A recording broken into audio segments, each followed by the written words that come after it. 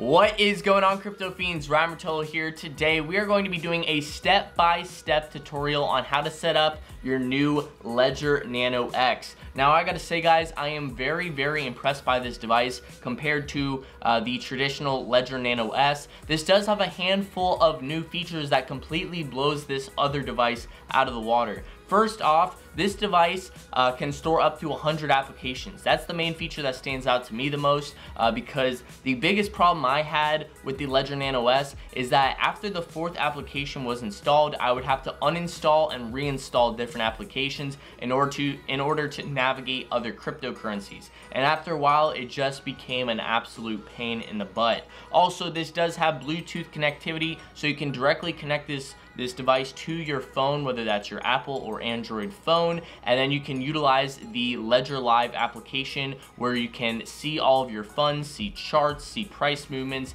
Uh, you can also send, receive, and trade cryptocurrencies all through the Ledger Live application. So this also does have a battery um, power source inside of it, so you don't have to worry about plugging it in or anything when using it. It's simply its own device, has a battery, it's all Bluetooth, definitely a step up from the traditional Ledger Nano S. So we are going to be doing a step-by-step -step tutorial today on how to navigate and set up your Ledger Nano X. Let's get it.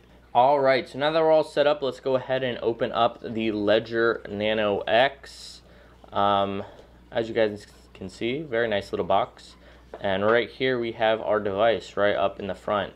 Uh, so this is the device. As you can see, compared to the Ledger Nano S, it's definitely a pretty big size difference. The Nano X is definitely a lot larger. Uh, that's mainly just due to more hardware inside.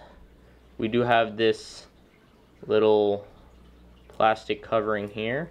So in order to power on the device, you're going to hold down this button, which is built into the handle, and this button. Also in this device, you do have the uh, manual for the Ledger Nano X and your little recovery paper.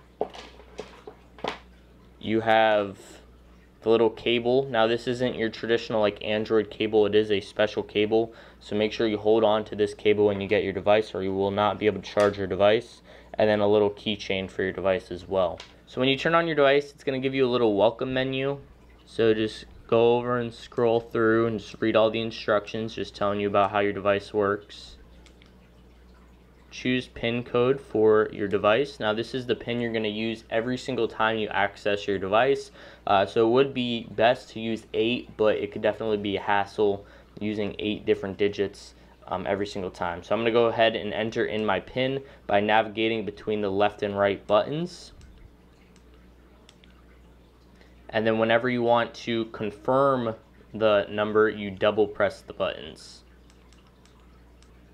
Confirm it again. So you have to write down your recovery phrase guys. This is going to be the 12 to 24 word phrase. Um, for any reason if you do lose this device you will need these words in order to access your device. And even if you don't have your device you can access your funds through say uh, my ether wallet or something like that. So these words are just as valuable as the cryptocurrencies that are going to be stored on your device. So make sure you write all of these down. So they do provide you with three recovery sheets in case you want to store some in different places or you mess up on one. You do have three to work with. So make sure you write down your entire recovery phrase on this paper and store it somewhere uh, where no one can get access to it because this is literally the key to your cryptocurrencies. Alright, so once you get your recovery phrase all set up, you will be brought to this screen. So what you're want to do is go over to install app. And it's to say use manager and Ledger Live to install app and more, apps and more. So as you guys can see, once I focus this, I have my, my phone here. I'm going to get started. Now this is the Ledger Live application. Uh, you can download it on the App Store or Google Play Store. And I'm to click on Ledger Nano X and then add new Ledger Nano X. So my Bluetooth is disabled, so I'm to go ahead and turn that on. So right here, once you go to connect to your device, it's going to ask you to um, pair them together. And in order to do that, you need to confirm it on the device and on your phone. So once you confirm it on your device, you can confirm it on your phone as well. and then it will validate the pairing. And then it also says on the device here, allow ledger manager. So I'm going to go ahead and double press the buttons on that. And then that will sync directly with my phone. So as you guys can see now, the pairing is successful. So now what you're going to do is you're going to set a password on your Ledger Live account. So that password will not be correlated with your Ledger Nano X, but it will be the password you use in order to log into your Ledger Live application. So once you enter in your password, if you have an iPhone or a handful of other smartphones, you can have the option to enable Face ID or Touch ID. So I'm going to enable Face ID. So you can have the option to share bug reports, analytics, etc. I personally do not like to share my data um, with any company to the best of my ability, so I'm going to decline those options and continue. And then as you guys can see, your device is all set up. So when you go ahead and open Ledger Live, this is what you can see. So say you want to add the Bitcoin application onto your device. So what you're going to do is go to Open Manager and select your device. Now your device is going to connect with your Ledger Nano X and it's going to pull up the manager where you can choose a handful of different applications aka cryptocurrencies to choose from to uh, add onto your Ledger Nano X. So as you can see here, we have a long list of different cryptocurrencies. We're going to go ahead and just add Bitcoin for the sake of this video. And it's installing the Bitcoin application onto my Ledger Nano X via Bluetooth. So as you guys can see here, it says processing. And I skipped over a good chunk of that, that um, that download, but it only took about 25 seconds. And then as you guys can see on there, I do have my Bitcoin application.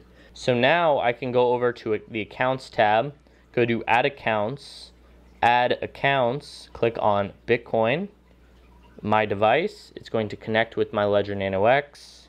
This is the Bitcoin 1 account, so I can swipe over and change the name if I want to. Um, but say I just want to leave that, so I would go to continue and accounts successfully added. So I can go to accounts and then this is my new Bitcoin address. So I can receive, click on the Ledger Nano X, it will connect. I can verify it on here to make sure that everything looks good. And then that is my new Bitcoin address. So that's how you set up a Ledger Nano X. Leave a comment down below if you have absolutely any questions. I will do my best to get back to you. And also, I do plan to upload a video in the future of my overall experience of using the device, uh, the pros and the cons, all that sort of stuff. Uh, but thank you guys so much for watching. If you did find this video informative, I would greatly appreciate it if you hit that subscribe button and maybe give this video a thumbs up. And I'll catch you in the next.